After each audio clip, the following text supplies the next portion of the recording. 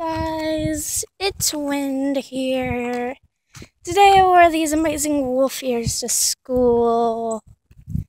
I was gonna wear paws and a tail and a full-fledged head, but I decided not to.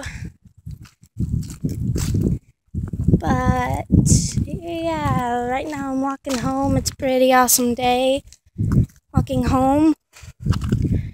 So I'm actually hoping that you guys do not comment bad on my videos. And I hopefully wish that you do not comment bad on Fright's videos either.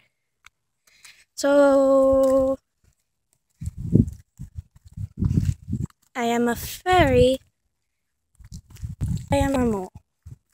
Okay, kind of not, but so you, sh you shouldn't be um against